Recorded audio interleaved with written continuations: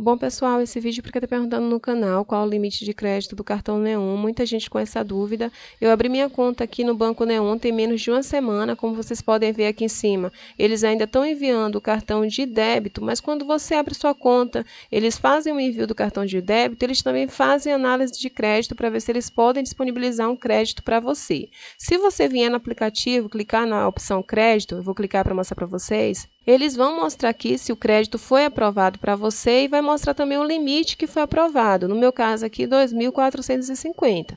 Então depende muito de cada cliente. Para cada cliente vai ter um valor, um limite inicial aprovado. No meu caso foi esse, no seu pode ser maior, pode ser menor também, depende. Então de início o Banco Neon, eles vão enviar para você a opção de cartão de débito, mas aqui no aplicativo, clicando na função crédito, você vai ver se você tem um limite de crédito ou não aprovado e qual é esse limite. E, na verdade, não demora muito, tem, como eu falei, tem menos de uma semana e eles já fizeram análise aos órgãos de crédito para verificar se eles disponibilizam ou não o cartão de crédito para mim. Lembrando que esse cartão é sem anuidade, então você não precisa pagar tarifa mensal de manutenção ou anual.